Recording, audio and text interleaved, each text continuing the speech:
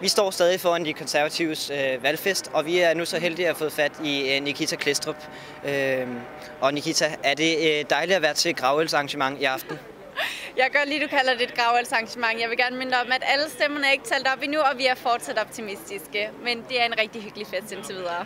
Øh, er I optimistiske, fordi at øh, stemmerne fra Bornholm ikke er talt op endnu? Jeg mener, at jeg så noget med stemmerne fra Bornholm, så jeg tror, de er talt op.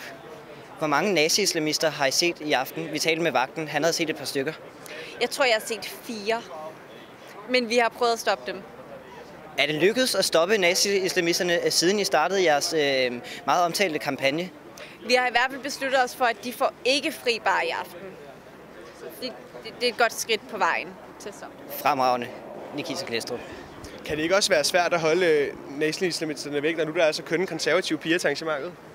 Nej, fordi de kan jo ikke lide kønne piger, medmindre de er dækket helt til. Så det er faktisk meget nemt. Så der har du en fordel? Ja, men det er også derfor, jeg har bare skuldre i aften. Og jeg viser mit hår, det er for at holde dem væk. Og Du det fungerer virker. simpelthen som konservativs sikkerhedsværn mod nazi-islamister i aften. Det er netop det, jeg gør. Det er derfor, jeg er her i aften. Det er derfor, jeg fik en invitation i aften. Er det lettere at holde fokus på valgfesten og, og de sociale aktiviteter, når Mads Holger ikke er til stede? Jeg tror, at Mads Holger hygger sig rigeligt til sin egen fest, men øhm, der er ingen tvivl om, at han vil også skabe den fest, hvis han er her. Undskyld, jeg kan ikke det spørgsmål seriøst. Hvem er inviteret til Mads Holgers fest? Carsten Seindal. Nikita, du skal have mange tak, fordi du vil være med. God valgkamp. God Tak. valgaften. I lige måde.